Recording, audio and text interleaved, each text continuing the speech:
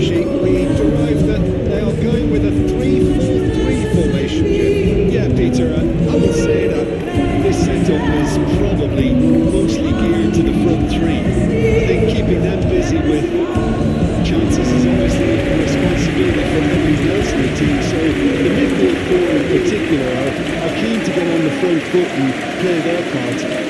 The back three have just got to get on with it, and at times they are left a little exposed.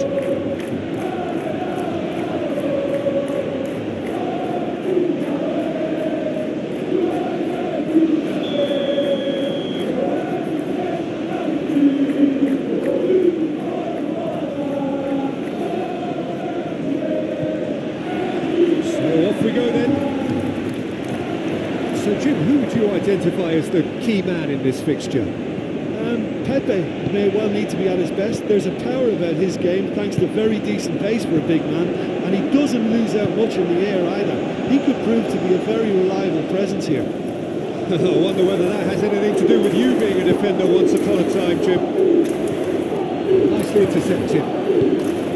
Pepe.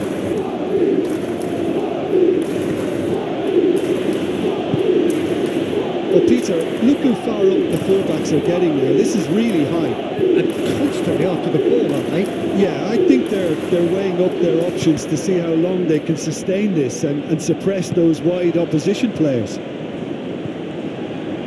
Galeno. Well, caution is dominating proceedings. This isn't meeting ex- Evanilson! Decent enough try. Yeah, that's a decent try when you consider the range.